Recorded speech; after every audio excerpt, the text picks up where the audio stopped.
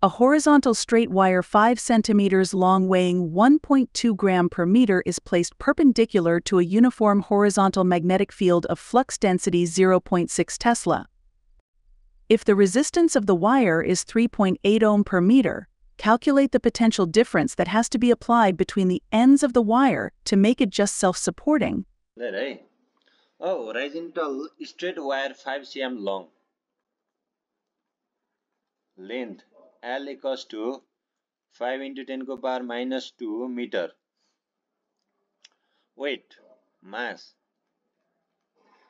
M equals to one point two divide by thousand यो केमा गयो?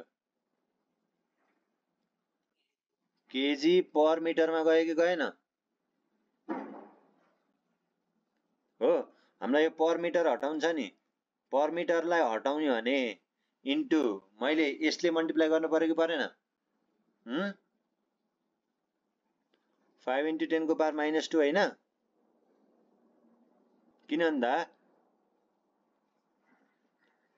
एक ग्राम मास हुने बेलामा के पनि थियो यो मासमा? एक मिटर लेन्थ पनि थियो हो कि होइन? मानिलिउँ कि हेर यति चाहिँ यति मिटर लामो एउटा रोप थियो। यो रोपमा एक ग्राम यो रोपको मास चाहिँ एक ग्राम थियो भने यसलाई लेख्दाखेरि यसरी लेखे होइन वान ग्राम पर मिटर भनेर लेखा होइन र। अब यो हान्दा कति आउँछ?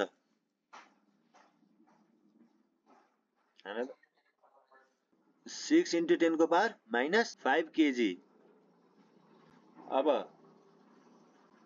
फ्लक्स डेन्सिटी बी भनेको जेरो पोइन्ट सिक्स टी भयो। आर भनेको three point eight into five into टेनको पावर माइनस टू हो कि होइन?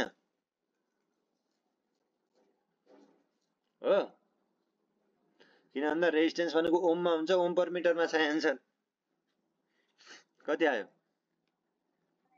Zero point one nine ohm F equals to BIL sine theta हामीले यहाँ के भनेको छ? पर्पेन्डिकुलर भनेको छ।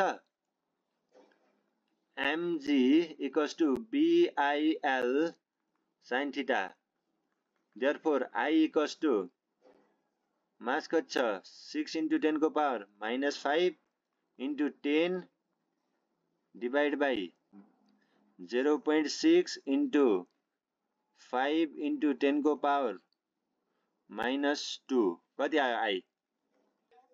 Zero point zero two अब भी इक्वस टु आइआर हो zero point zero two into zero point one nine कति आयो?